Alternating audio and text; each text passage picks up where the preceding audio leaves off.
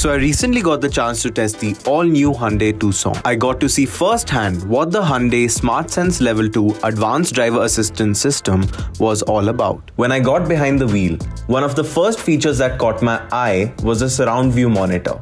The screen gave me a 360 degree top view of the car's surroundings and made parking on a crowded road pretty easy for me. While reversing out of a parking spot, the rear cross traffic assist or RCCA came in handy. It's a feature that helps you avoid collisions with oncoming traffic by giving a warning. If you miss the warning, then the RCCA automatically applies the brakes to reduce the collision. When on the road, I highly recommend using the blind spot collision warning. It sends alerts about any obstacle on the blind spot in the rear side of the car. And if you have the blind spot collision avoidance assist turned on, the car even applies brakes automatically.